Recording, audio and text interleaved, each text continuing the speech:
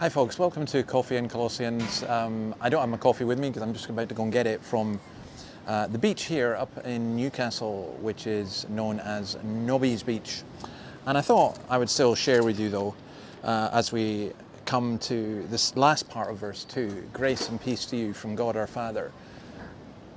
Um, you know, when we greet people, how, how do we greet people?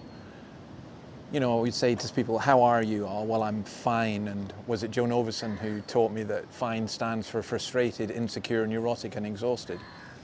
We're asking how people are. But there's another way of greeting people. And I think of an old minister I knew who would meet somebody and go, oh, blessings on you, blessings be upon you. And I thought it was quaint and cute and uh, a bit funny, but actually, what a great way to greet someone. And that's what Paul does here. He asks for grace and peace be given to them. So he doesn't say, How are you? He says, You know, I'm Paul, you're God's holy people, the faithful. And he said, I wish you grace and peace. And what a great thing to wish. Um, it's interesting doing these talks that, or these Bible studies, or these short comments, however you want to call it.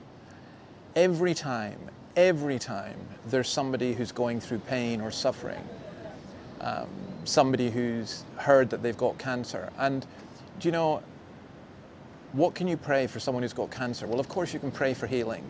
Of course you can pray for their family. But you pray for grace and peace, grace to sustain themselves through it, and the peace of God to overcome the, just the dread fear that you feel. So let's just think about these two words briefly. Grace is charis. It's, uh, uh, it, there's a deep prayerful concern for his readers. Gordon MacDonald says the world can do almost anything as well or better than the church. You don't need to be a Christian to build houses, feed the hungry, or heal the sick. There's only the one thing the world cannot do, and that's give grace. Well, that's true. Well, what about this though? Peace, eirene, shalom. That's the absence of any disturbance. It's well-being. Uh, you know, governments now talk about uh, well-being. I think Humza Yousaf talk about an economy of well-being. Well, what does he mean by that? Well, the Bible carries this idea of social, material, physical. And he says, basically, you're in need of this. You're in need of wholeness. You're physically ill, you're mentally disturbed, you're emotionally traumatized, you're weak and you're weary, you're spiritually worn out. And you need that wholeness, especially in relationships. And Christ is the mediator of that wholeness. Paul wants them to grasp more fully the nature of the relationship of peace which God has established for them. And when you pray for peace for someone, it's not just a warm, fuzzy feeling, but also, and it's not just spiritual prosperity, it's re- rich, it's deep, it's coming from a mature place, it's, it's the covenantal peace, it's peace in every aspect.